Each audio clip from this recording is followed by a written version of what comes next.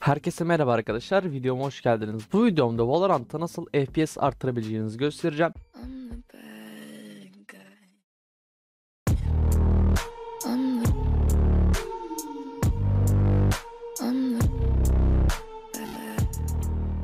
Arkadaşlar ben videoda çok hızlı bir şekilde hemen anlatacağım. Şu an girişte biraz hızlı yaptım. E, Neden videoyu çok hızlı anlatıyorsun diye sormayın. Önceki videolarımda yazmışsınız. Zaman kaybı olmaması için. Şimdi hiç zaman kaybetmeden videomuza geçelim. İlk yapacağımız yöntem Valorant'ın dosyasına gitmek. Şöyle benim Valorant'ım e, Ri- Riot Games dosyasında şöyle Valorant'a girdim. Live'e ge- geldim. Live klasörüne girdim. Burada Valorant Exe var. Buna sağ tıkladım. Özellikler dedim. Uyumluluk kısmına geldim. Tam ekran iyileştirmelerini devre dışı bırak butonunu etkinleştirdim. Bu programı yönetici olarak çalıştırır butonunu da etkinleştirdim. Daha sonra yüksek DPI ayarlarını değiştirden buradan yüksek DPI ölçeklendirmesini geçersiz kılma butonunu etkinleştirip tamam dedim, uygula dedim. Daha sonra buradan Shooter Engine var. Buraya giriyoruz. Binaries var. 1064'e girdik. Buradan aşağıya geldiğimizde Valorant'ın başka bir versiyonu var. Buna da sağ tıklıyoruz. Aynı işlemleri buna da yapıyoruz. Şu şekilde. Aynı işlemleri yaptık. Uygula dedik. Bu ilk yöntemimizdi. Şimdi ikinci yöntemimize geçelim. Şimdi arkadaşlar Windows üzerinden gerekli ayarları yapacağız. Ee, şöyle Windows arama kısmını açtım. Arama yerine grafik ayarları yazıyoruz. En başta çıkan şeye tıklıyoruz. Ee, şimdi karşımızda böyle bir yer gelecek. Buradan e, donanım hızlandırmalı GPU zamanlamasını etkinleştiriyoruz. Daha sonra bunu kapatıyoruz. Arama yerine ayarlar yazıyoruz. Ayarlarımıza Windows ayarlarımıza giriyoruz. Burada oyun diye bir sekme var. Bulamazsanız bunu e, şu Windows ayarları kısmından da bulabilirsiniz. Oyun kısmına girdiğimizde Xbox Game Bar'ı kapatıyoruz. Buradan yakalamaları e, buraya geç. Bu oyun modunu etkinleştiriyoruz. Windows'a özel bir oyun modu var. Windows ona özel. Oyun modu kısmından grafik ayarlarına erişebiliyorsunuz. E, bu oyun kısmındaki yaptığımız ayarlar çok önemli. Dediğim gibi e, Xbox Game Bar'ı devre dışı bırakın. Oyun modunu etkinleştirin. Grafik ayarlarından e, burayı etkinleştirin. Grafik burayı etkinleştirdikten sonra e, tercihi ayarlamak için bir uygulama seçim var. Buradan buna tıklıyoruz. E, buradan bunu tıklamıyoruz. Pardon göze basıyoruz. Buradan Valorant'ın kurulu olduğu e, şeye giriyoruz. Riot Games Valorant Live. Şuradan Valorant Exe'yi seçiyoruz. Seçenekler diyoruz. Yüksek performans butonu olacak. Burada sizde e, buradan yüksek performansı seçip kaydediyoruz. Yine göz alt diyoruz. Bu sefer Shooter Game kısmından Binaries 1064 buradan Valorant'ın diğer Shipping Exe olanı olanı olanı seçiyoruz. E, daha sonra Buna da yüksek performans pardon şurada diye. Buna da yüksek performans deyip kaydediyoruz. Windows'ta yapabileceğimiz ayarlar bu kadar yani e, elle yapabileceğimiz ayarlar bu kadar. Şimdi size benim hazırlamış olduğum dosyayı vereceğim. Bu dosyada program herhangi bir şey bulunmamaktadır. Windows e, kayıt defteri falan. Bu ayarları değiştireceğiz.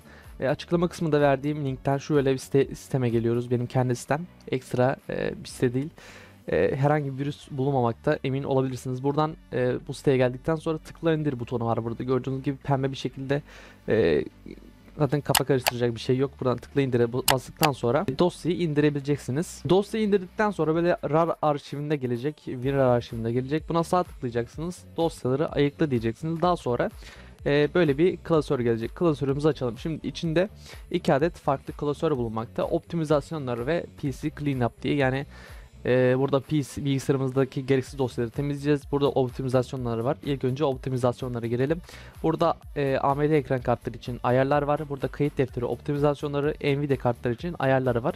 İlk önce AMD ayarlarını buradan tıklayıp burada görselden ayarları teker teker yapabilirsiniz. Geri geldiğimizde Nvidia denetim masası ayarlarımız var. Bunları teker teker sizler için ayarladım gördüğünüz gibi buraya bakıp bu ayarları teker teker hepsini yapabilirsiniz. Burada Nvidia GPU kartı optimizasyonları var. Buna sağ tıklıyoruz. Birleştir birleştire basıyoruz. Burada sizden izin isteyecek. Evet deyin. Evet diyeceğim. Tekrar e, bu düzenlemeleri yaptı. Buradan tamam basıyoruz. Böyle bir uyarı gelecek olduğunda. E, biraz hızlı, çok hızlı anlattım. Biraz yavaşlayayım. Sizlerin de kafasını karıştırmak istemiyorum. E, optimizasyonlar, optimizasyonlar klasörümüze geri geldik. Burada kayıt defteri optimizasyonları var. Buraya girdiğimizde 5 adet farklı dosyamız bulunmakta. E, burada sırayla bunların hepsini e, sağ tıklayıp birleştiriyoruz gördüğünüz gibi. Buradan izin istiyor. Her birinde izin isteyecek. Kayıt defterinde düzenleme yapıyor. Çünkü buradan buna da evet basıyoruz. Bunları sırayla şu şekilde hızlıca yapalım.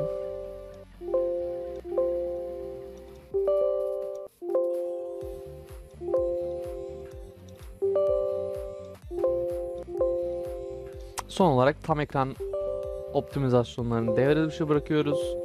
Ee, bu şekilde de kayıt defteri optimizasyonlarımızı yapmış oluyoruz. Daha sonra şöyle e, ana klasörümüze gelelim. PC Cleanup var. Buraya giriyoruz. E, herhangi bir dediğim gibi program indirmiyoruz bilgisayarımıza. Çünkü programlar yani dediğim gibi arkadaşlar ekstra bir program indirmeyin bilgisayarınızda. Bilgisayarınızı hızlandıracağım diye daha çok yavaşlatmayın. Bilgisayarınızda gereksiz pro dosyaları silme programları kesinlikle indirmeyin. Burada program diye bir şey yok. Bunlar Windows'un kendi e, sağlayıcıları yani. Windows'unuzda kendi bulunan şeyler. Burada disk cleanup var. Buna tıkladığınızda Windows'un C diskini veya D diskini Windows'un kurulu olduğu dosyayı temizlemek istiyorum ben. Yani C diskini şurada Windows işareti var. Yani burada ne demek bu? Burada Windows kurulu demek. Bu diski seçtim. Tamam dedim. Şu an hesaplıyor. Bu C diskinizin doluluk oranına göre uzayacaktır.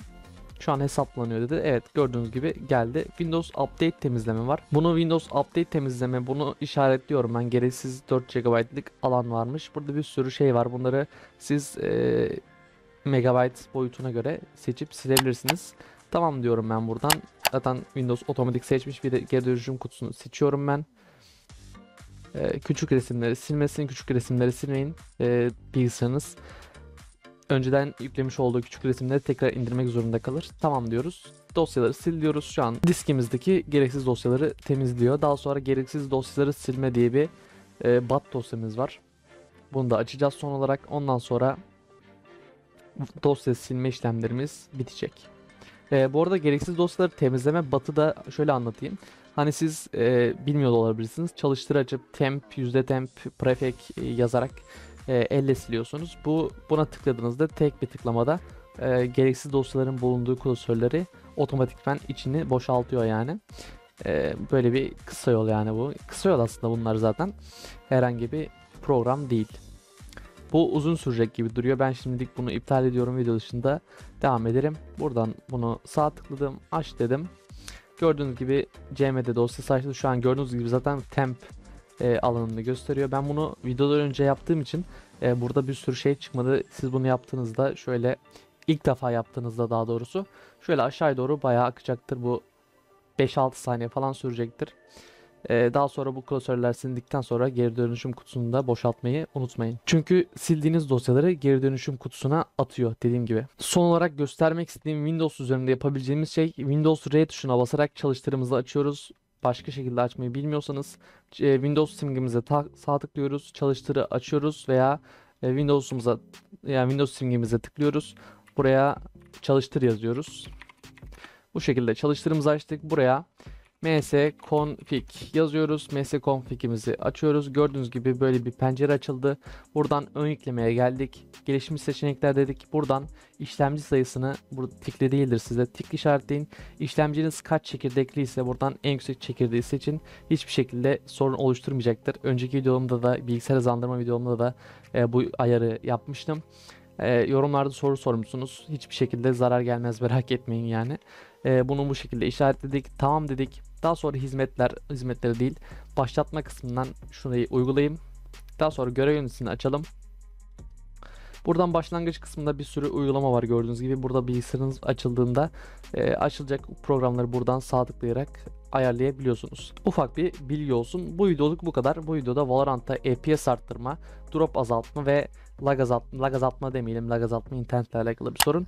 Ve drop azaltma, FPS arttırma yöntemlerini gösterdim. Hem Windows üzerinde hem de e, ekstra ayarları gösterdim. Nvidia ekran kartı e, veya AMD ayarlarını gösterdim. Bu şekildeydi. Bu videomuzda hala değilseniz kanalıma abone olup beni desteklemek için videoyu beğenip yorumlarda fikirlerinizi veya teşekkür edebilirsiniz. Discord sunucumuzda da açıklama kısmından gelebilirsiniz. Hoşçakalın. Bay bay. Bir dahaki videoda görüşmek üzere.